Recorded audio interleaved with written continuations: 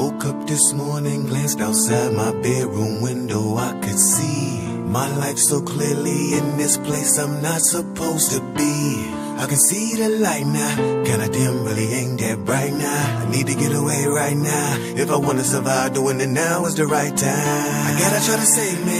Anything I gotta do, I gotta do it to protect my soul. The rich and the famous dreams I had, now I'm feeling like it's time that I let them go. The times are changing, now my mind realize all this evil won't let me grow. I can really see it, I really believe it, but will I break free? I don't know. I can see it clear now,